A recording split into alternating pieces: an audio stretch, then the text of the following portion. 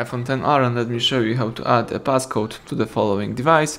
So at the very beginning let's start by using your home screen. Find and select the settings.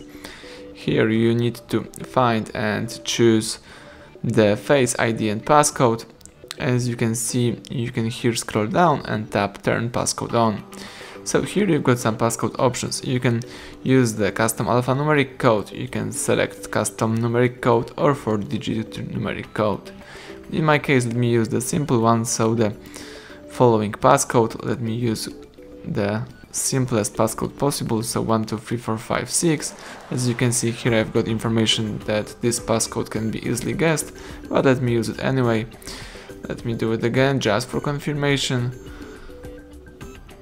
The device verifying a passcode. Here you can change some settings or you can just start using your passcode by pressing the side button to log your device and now if you would like to unlock it you need to enter the passcode.